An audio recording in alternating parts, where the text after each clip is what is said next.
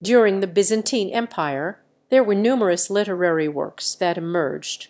Some noteworthy examples include the Alexiad, written by Anna Komnene, which chronicled the life of her father, Emperor Alexios I Komnenos. Another significant work was the Secret History, by Procopius, which provided an insider's perspective on the reign of Emperor Justinian.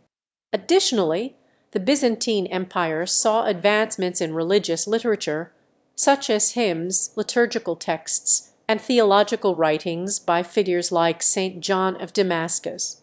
These works often reflected the cultural and religious values of the Byzantine society at the time.